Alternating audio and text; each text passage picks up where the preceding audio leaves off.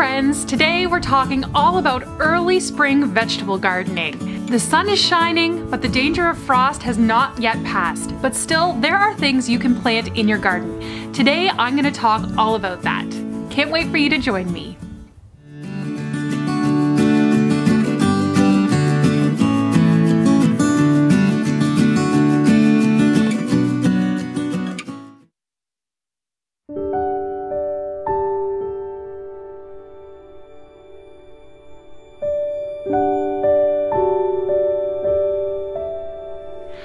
Everybody! I'm so glad you could join me today. I'm on my porch, on my porch swing, trying to film a good video here.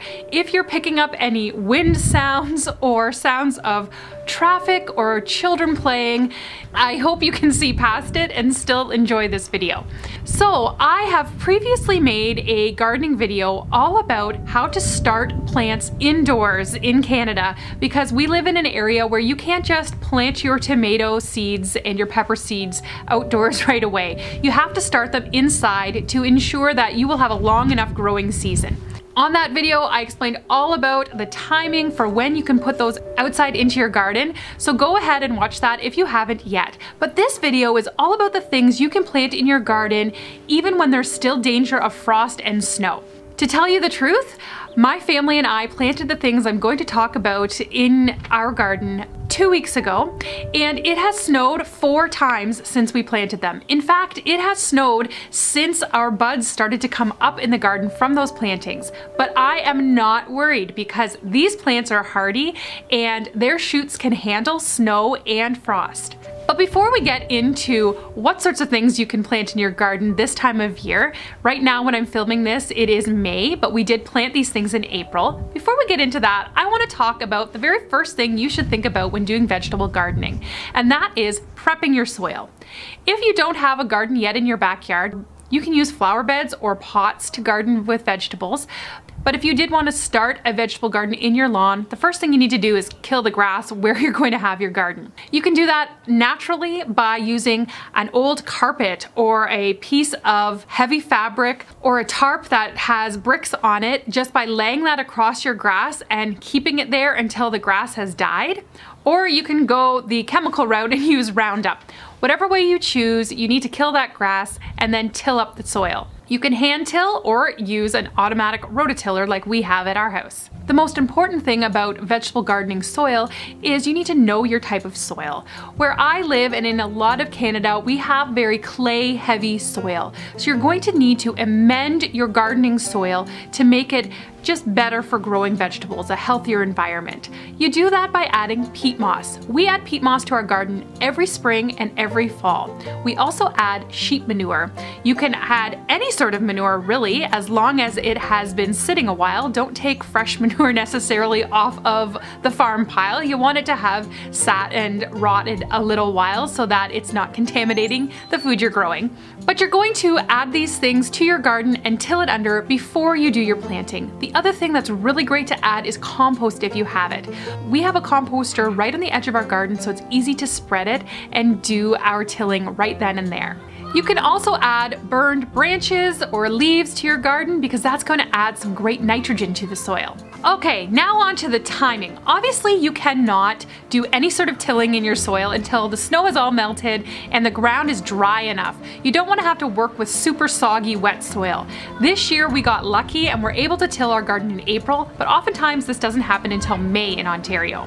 Sometimes there are things you can actually plant in your garden in the fall, like garlic, which we have done and you can see the shoots are coming up really well right now. You can also plant your onion bulbs in the fall and get a head start on them.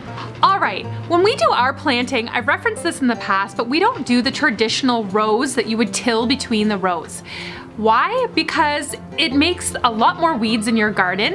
It means that you can plant a lot less in a bigger amount of space, basically. We prefer to do clump gardening, which means we are planting stuff much closer together and we reach into the clump garden from the outside to do our weeding. So for everything you plant, you'll see here, we are planting it closer together for the most part than what the seed package says. First, you want to prepare your kind of bed in your garden for each thing. We do this by kind of tilling up the soil into a platform and leaving a trough on either side. The trough helps to collect moisture and it means that if we get a torrential downpour, our seeds are not going to be all washed away because the water will gather in these troughs. So, things you can plant when it is still cold, frosty, and maybe risk of snow. Lettuce. Lettuce and spinach for sure you can plant. You can see here that you want to try to plant the seeds fairly shallow in the soil and you want to try to spread the seed apart a bit, but it's really hard because lettuce seeds are so tiny. So try to thinly plant this seed as much as you can. Planting carrots is always fun because again, they have very tiny seeds, but these can be planted anytime. I should put in here, if it's June and you haven't got around to putting these, these seeds in the soil yet, that is perfectly fine. You don't need to plant them in April or May. You can plant them in June, you're still gonna get a harvest. But carrot seeds are so tiny, so our method is to try to plant as thinly as we can, but as the carrot shoots come up, we will then thin them out more by pulling out shoots so that each carrot is allowed to grow to its fullest potential that is left there in the soil. Beets are kind of the same idea. They're a real tiny seed, so we do the same method as we do with carrots. And yes, beets can be planted now. Onions. The most important thing you want to remember for onions is that when you plant it, you need to plant it so that the little shoot coming off of it is facing up,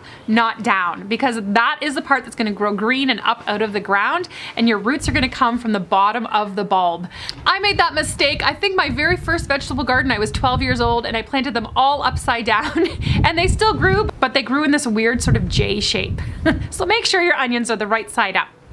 Onions do not need to be very far into the ground. You're just basically going to pat the soil around the bulbs. We plant from bulbs at our house. I do know some people who do it from seed, but this is pretty tricky. So the bulbs are cheap. I'd go that route if you can.